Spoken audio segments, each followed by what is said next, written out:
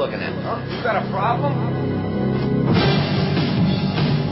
Okay, does anybody have a Swiss Army knife? Honey, Yeah.